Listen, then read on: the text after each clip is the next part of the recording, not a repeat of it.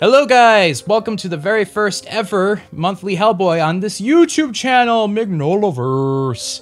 Just a note before we start, scheduled solicitations are accurate to the time of this video's creation according to darkhorse.com. For the week of October 11th, we have Joe Golem, Occult Detective, The Drowning City number 2. The official solicitation is as a madman's plot to pierce the veil between worlds brings the drowning city ever closer to doom, Simon Church and Joe Golem race against time to find an ancient artifact before its power is used for evil. But even a golem may not be able to withstand the menace of the mysterious gas men. To be frank, I have no idea what's going on in Joe Golem right now, but it sounds wonderful and it's not Hellboy canon. So why are we talking about it? Because Mike Mignola wrote it along with Christopher Golden with an art artist with artist Peter Bergting, colors by Michelle Madsen, and a cover by Dave Palumbo. So I am so excited for that book. I, I don't read Joe Golem, I'm being honest. There's not a whole lot to talk about this month, honestly. Uh, October is pretty blank for the Hellboy universe. Also on October 10th, we get a reprint, ta-da, of Hellboy the Wild Hunt trade paperback. Uh, this is very important because if you're going to read the books before the movie, you know, this is what the movie's based on, so you should read this book. It has a nice gold sticker on it that tells you, hey! If you want to watch the movie and read the book at the same time, maybe you should read this book. That's that's what the sticker means, so you should get that book. I don't know, it's a reprint. Uh, it's not new. but uh, Hellboy the Wild Hellboy the Wild Punt. Serving as the inspiration for the new feature film, Hellboy is called to England to take part in an ancient ritual of hunting giants, but quickly faces a much more dangerous enemy, Nimue, the Queen of Blood, who has risen from the ranks to create a monstrous army.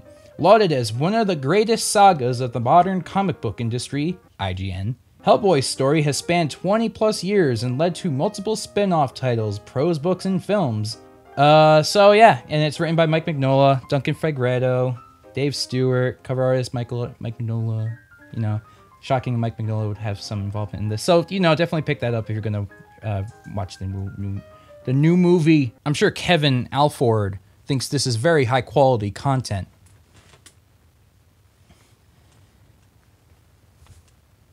October 24th, we have BPRD Hell on Earth Volume 3, the hardcover uh, which I have been collecting all of these. Uh, we have all the first two right here. So if you like Hell on Earth, you should definitely pick that up. Uh, the official solicitation is the BPRD fight to protect the world from the rise of the monstrous Ogdru Hem as teams hit a blizzard-torn Russia and the ruins of both Chicago and New York. Meanwhile, Liz Sherman fights a dangerous doctor in Utah, and a young psychic Fenix goes head to head with a monster worshipping cult. This deluxe hardcover edition collects BPRD Hell on Earth Volume 7 to 9, plus an expanded sketchbook section, which legitimately the sketchbook sections in these books are awesome, so you should 1000% invest in it just for that. I actually own all these in, uh, in single issues already, so.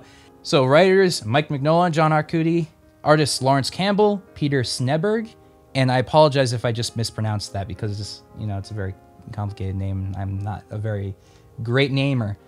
Tyler Crook and James Harren. Colorist Dave Stewart, cover artist Laurence Campbell. And that's really it for the month. There's not a whole lot going down in uh uh like a week. No, actually yeah, in literally a week from this video's release, we will be getting our first trailer probably for the new Hellboy movie because of New York Comic Con, and plus a bunch of other news. I personally am going to try to avoid watching the trailer directly, but writing a whole entire article on it still somehow. I don't know how that's going to work out. I may end up just having to watch a trailer, but I don't want to, because I want to go into this movie blind. Additionally, since it's our very first actual upload on the channel, well, we had a uh, thing before this, but we are going to be uploading regularly, but that's going to be in a month because I need time to get ahead. You know, I'm, I'm, I'm not getting paid for this, and you know, there's going to be a lot of content coming out. So I need a month to get ahead. But just so you know, in a month, we will be having regular uploads.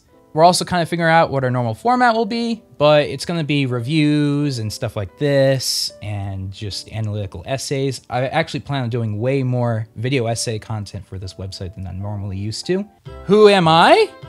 I'm so glad you asked. I make YouTube videos on the channel Page Flip. If you want to go subscribe to that, that's all uh, comic book content. And I also do some video gaming content on the side. If you want to go check those out, you can find them. Uh, also follow me on Twitter at Dan is a plant. That's D A N I S A P L A N T. Plot twist E.